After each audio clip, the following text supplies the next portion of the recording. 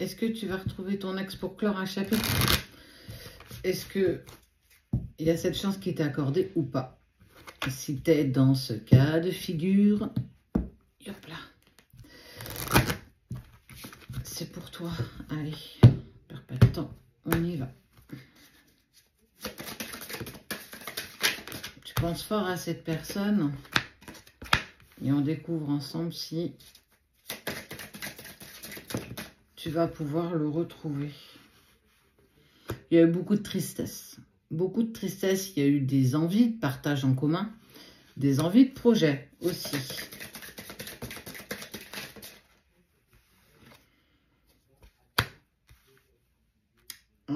Tu vas apprendre, tu vas apprendre des secrets. On va venir te voir, on va venir te parler. Et en fait, on te parle aussi que tu as eu des messages pas forcément positif de quelque chose que cette personne qui est sortie de ta vie aussi rapidement que ça a fait. Ça veut dire qu'on va venir te colporter quelque chose, mais pour le coup, j'ai envie de te dire une vraie vérité. Même si j'ai tendance à dire n'a qu'un son, n'a qu'une cloche, là j'ai vraiment envie de te dire écoute ce que tu vas entendre. Ça va pas risquer de te faire plaisir, mais il faut que tu entendes. On parle de secrets. On parle de secrets, de choses qu'il aurait faites dans lequel il t'aurait menti, il y aurait eu des non-dits. En tout cas, il y a une certaine vérité qui s'offre à toi. Ça va toucher ta sensibilité, ça va te toucher profondément. Il est parti pour un intérêt certain. Il est parti parce qu'il a fait une nouvelle rencontre. Il t'a peut-être dit que euh, il était sorti de ta vie parce qu'il ne t'aimait plus ou parce qu'il avait besoin de faire le point ou parce qu'il avait besoin de faire un break ou euh, en fait il t'a trouvé une excuse bidon.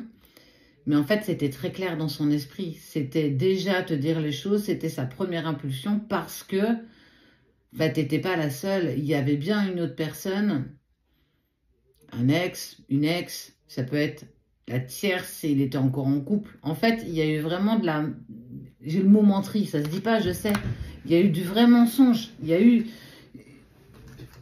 Il t'a menti, punaise. Il t'a menti, il t'a pas dit les choses. Et on te dit pourtant, pourtant tu avais l'intuition, tu as senti quelque chose, mais tu n'as pas voulu écouter. Ton intuition te disait, il te criait quelque chose, mais tu tu t'as mis, mis des, des, des, boules caisses, quoi. Tu mis des bouchons d'oreilles. Boule caisse, c'est une marque. T'as pas voulu écouter. Pourtant, tout était là. Je pense que si tu prends le retour suffisant, tu avais tous les indices, tout était indiqué. Il a changé du jour au lendemain, il a moins communiqué avec toi, il a pris de la distance. Il n'y a pas eu d'élément déclencheur en fait. Tu n'as rien fait pour qu'il puisse prendre cette décision. Il l'a fait de son plein gré. Mais pourquoi? Bah Parce qu'en fait, il batifoulait déjà à côté de toi. T'as pas voulu voir. Ou t'as vu, mais t'as pas voulu y croire. Ton intuition pourtant te le disait.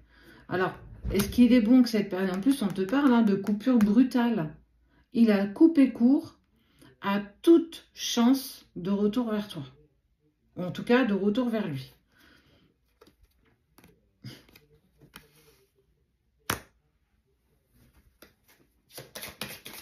Il y a une grande forme de manipulation quand même. Hein. Attention, ça parle pas pour tout le monde. On seulement ce qui parle. On n'est pas que sur des messages positifs. Mais cette gentille personne pense que tu es naïve en fait. Elle pense que tu es... T'es rien sans lui ou sans elle. Et qu'en fait, quand il aura fini de butiner cette jolie fleur, qui n'est pas toi, ben en fait, il va vouloir revenir au foyer, tu il va vouloir revenir vers toi il va vouloir tenter un nouveau départ. Et il, va persévérer, pensant qu'en fait, ben, tu vas accepter parce que tu n'as jamais connu mieux que moi, en fait. Tu connais pas autre chose que moi. Donc, je sais que je te suis indispensable et que de toute façon, tu as besoin de moi. Alors, retour ou pas de la personne de ton ex, de ton cœur, que tu aimes ou que tu n'aimes plus, peu importe. Ben, j'ai envie de te dire, ouais, mais il a un intérêt certain, en fait, à revenir vers toi. Il revient parce que ça y est, la fleur, il l'a butinée, il a envie de passer à autre chose. Et il sait que toi, demain, je peux t'appeler, tu vas rebondir et tu vas ouvrir tes bras et tu vas faire comme si de rien n'était. Mais entre ce qu'il pense et ce qui est vrai, il y a un fossé. Tu as tes réponses. Ces réponses tant attendues, elles sont ici. Qu'elles te plaisent ou qu'elles ne te plaisent pas. Mais grâce au fait aujourd'hui de savoir, tu vas pouvoir ouvrir de nouvelles portes, les tiennes. Mais aussi surtout prendre un nouveau départ. Ne plus te laisser marcher dessus. Ne plus te laisser, ne plus te faire respecter. Il y a une forme d'intégrité clairement qu'il a bafoué et qu'il va tenter de bafouer encore à nouveau. Mais à toi de poser les limites. Là, il va falloir véritablement que tu les poses.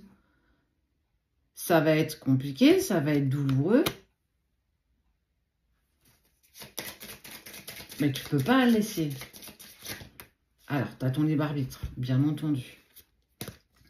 Parce que ce qui est quand même important pour toi, c'est que tu vas quand même avoir des liens sincères avec une autre personne qui arrive pour toi.